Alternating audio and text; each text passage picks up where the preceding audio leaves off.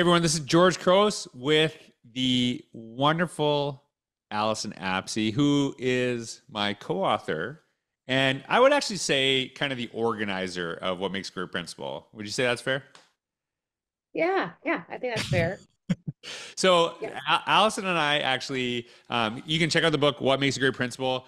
Um, over the next five weeks, and we're starting today, we're going to actually talk about the five pillars of education. So, not only is this on my podcast, we're going to actually going to uh, post this on the What Makes a Great Principal.com website. So, this can be kind of a supplementary thing. So, we want to just kind of keep this short. Um, talk about each one of the five pillars. But before I actually get into it, just today, just because it's a special and it's the first one, um, Allyson, I, I have to acknowledge, first of all, you and I become kind of besties through the process. Would you say that's fair? Uh, it's fair, yes.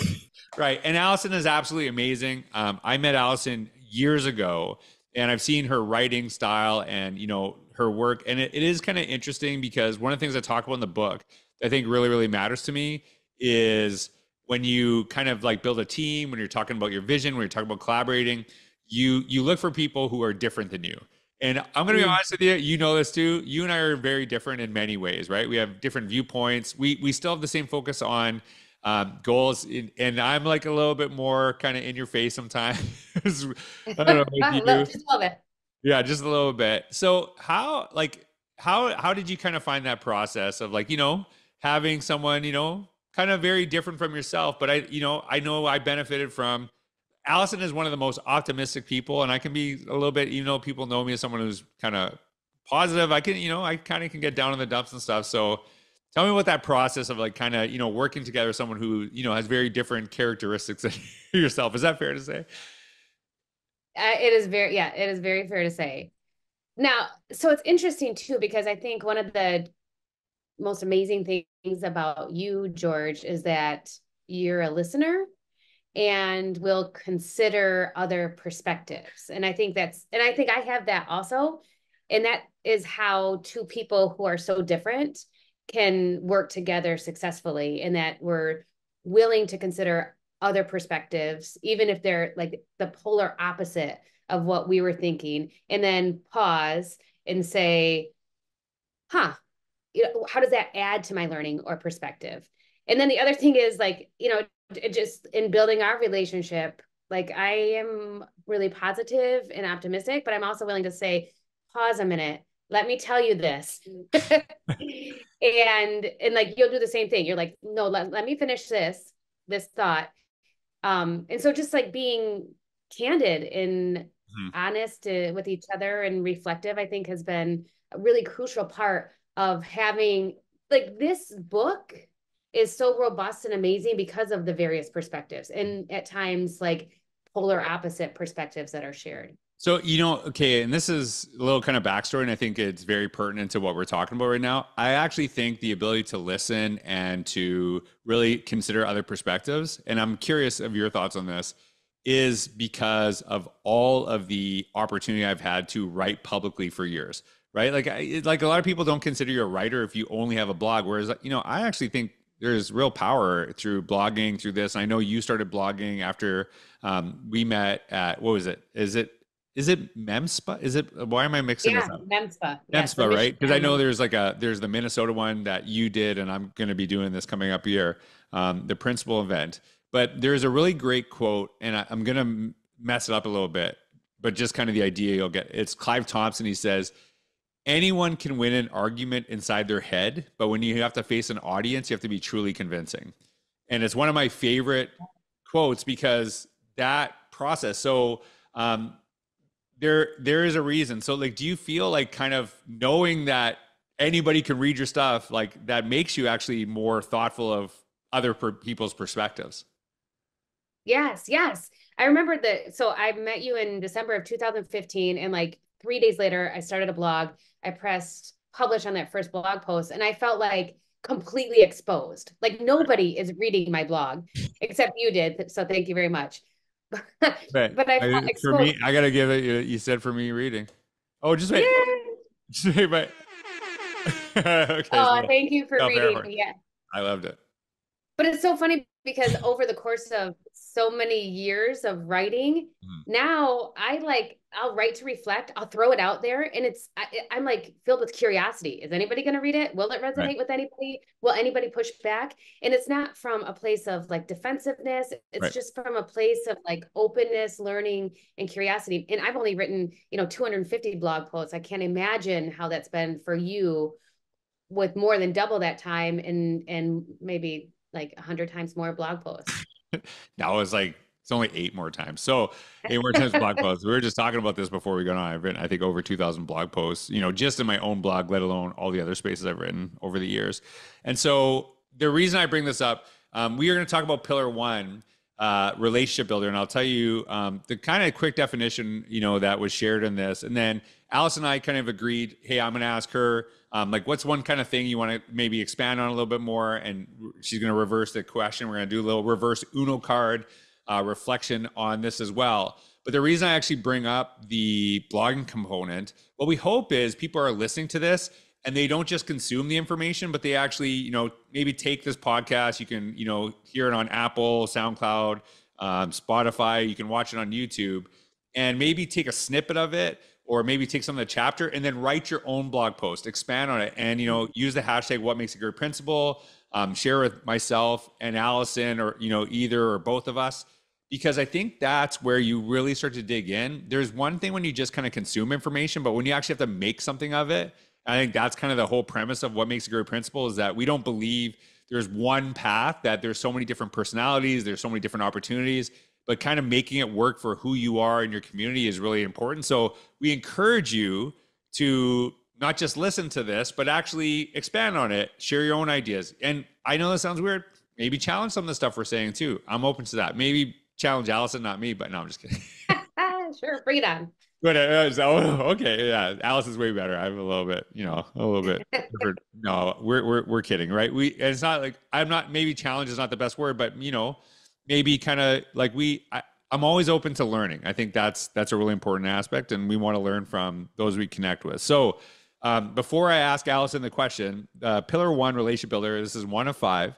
And i think the really important thing to identify we don't say like hey relationship builder if you do these 10 things you'll be a great relationship builder. We kind of share some stories ideas and ultimately you have to figure out the solutions.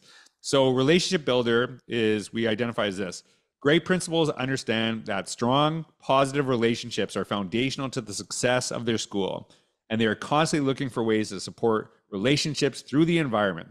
Effective principals model the empathy, joy, and connection need for positive relation, sorry, relationships among staff, students, and families in the school community. They know that every interaction matters and model that every single day. So that's kind of the overview of what we talk about. So you kind of wrote about you know some of the research behind this um, some of the ideas when you wrote about like what's one idea you want to maybe expand on that you talked about in that chapter? One of the ideas is tossing out your desk chair. And the reason for i mean you can still have a desk chair. This could be symbolic but the reason for it is that as a principal when you are not at your desk when you're out and about in your school community when you're out and about beyond your school walls you are seemingly always where you need to be. Mm-hmm. And when when we talk about that, we're not just talking about like physical presence because I know a lot of principals and like guilty as charged will be around with like walkies, their cell phones, right. um, their smartwatches, and they're physically out on the playground or in the professional learning session or walking into classrooms, but mentally they're wherever that walkie is going to take them next. Mm-hmm. So it's not just about being physically there, but it's also about being engaged with the people right in front of you, being engaged in that classroom.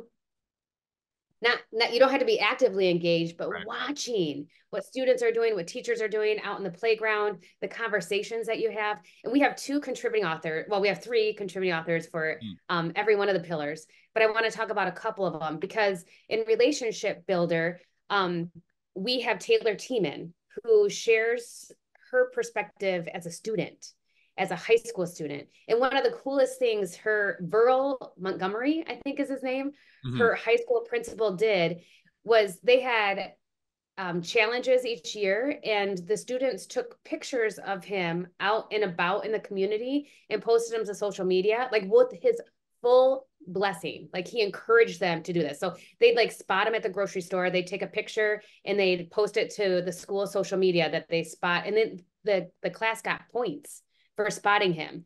But it was, in Taylor's point is like we saw him as a human and he wanted to connect with us all the time like he like we we were so important to him that even if we spotted him out in the community he wanted to connect with us and the other thing that taylor says is that they felt that he saw them as people and not just as students and that takes being present with them you know, so I know that you're going to kind of reverse uh, ask me what my takeaway is, but I'm just going to build off yours because I think that was what I was going to talk about the importance of being present, right? And how important that is mm-hmm. in the work that we do. And, and you also touched on how we model this. And I think one of the things that is unique about this book is, you know, we, we know relationships are talked about in education. I think this is a really important point too. I think some people say like, "Ooh, relationships are really important," and they kind of end there. And that to me is like, hey, it's a foundational thing, but you actually have to talk about learning, right? If all you talk about is relationships, but there's no improved learning, there's no improved opportunities for, you know, your not only your your students, but your staff, then you're just saying stuff that's really catchy and it's all nice, but it doesn't really actually improve anything in education. It's like saying, you know, like a hey, a business we focus on relationships, but none of that ever turns into like increased sales or anything like that. Well, there is kind of like a bottom line, and our bottom line is learning, right? Is actually ensuring that our students are continuously growing and getting better because of our presence. And so when you talk about that importance of presence, I think one of the things that I was adamant about is we always talk about relationships in schools, but we kind of ignore relationships outside of school. And not only the relationship we have with our families, with our friends, and how easily we can totally be distracted by all the stuff that happens in schools but also the relationship with ourselves right? And finding that time. And like one strategy um, and you know this about me uh, i actually have no notifications on my phone. Like none. I do not actually get any text messages yeah i know i don't get phone calls like nothing now i can turn that on at certain points of the day and there's like emergency you know um, things that actually can happen there.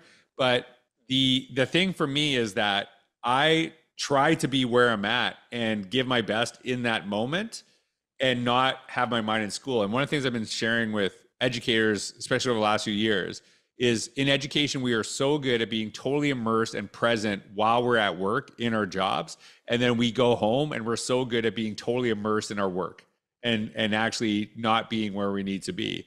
So when we talk about this idea of relationship, it's not limited to your own community, but also to outside of it. And actually, and I'm not talking about businesses and I'm talking about like the people that, you know, when you're done your job are going to be the ones like on by you on your deathbed, like those people too, right? Because like you can't get that time back. So it's it's really important, but also taking time for yourself. You're seeing and you know maybe i'm biased because I, so much has changed for me in the last few years uh, people's health just becoming terrible like physically and mentally because they they're so they'll they'll always show up on time for a meeting for other people but then they'll kind of like disregard you know spending some time to exercise spending some time to read spending some time to do this so the, when we talk about relationships we cannot ignore the relationship outside and the relationship inside any, thoughts on that allyson yeah, yeah. Actually, interesting. My one of my old superintendents, he was retiring, and we had a, a gathering for his retirement. And you know, I felt like you know we had a, rela- a close relationship, like we were really important to him. But what he said to us was so moving to me, in that he said, you know, you guys, like I value all of you. I've really enjoyed working with you. But he had his family standing right next to him. He said, "These are the people I'm going to spend the rest of my life with, not you." So keep that in mind as you continue in your careers. Yes. And and that was it was profound and important for us to keep in mind um, that in, the most important people are the ones at home. So being present and eliminating those distractions is crucial. So I love that. And I think that's a very powerful lesson, right? Because typically at the end of our lives, at the end of our careers, that's when we get the perspective we need at the beginning, right? right. And so yeah. that to me, you know, to get that wisdom while you're still in your career, while you're still doing things, take that and utilize that. Don't wait till it's too late to make those connections. So um, next week, Allyson and I are going to be doing uh, pillar number two. Like you're going to see us wearing the same clothes. It's not like we wear the same clothes every time. We're just recording a bunch of them right now. But maybe you know, maybe maybe we do. Maybe we, I'm just saying that to kind of throw the scent off. So, which you know would stink if we wore the same clothes five weeks in a row. So, uh, what here's what we're going to do though. Um, what I encourage you to do uh, Alice and I talked about relationships. So here's a couple questions you can throw in the comments. I would love to know your your thoughts because so we can kind of make this a resource. How do you build um, really rela- important relationships in your school community with your staff and students, but also what are some things you do to build the relationships, you know, outside of the school community and with yourself? And what are some of your strategies that might work? Because I think what would be powerful is if people shared some of those ideas in the comments down below. We can make this a resource and we can learn from each other. So thanks, Allyson, for taking the time. I'll see you next week when we're all wearing the same exact clothes. can't wait. I can't wait. So thanks to everyone for listening. We will be back next week with pillar number two. It will be on a Thursday. So thanks for listening. I hope you have a wonderful day.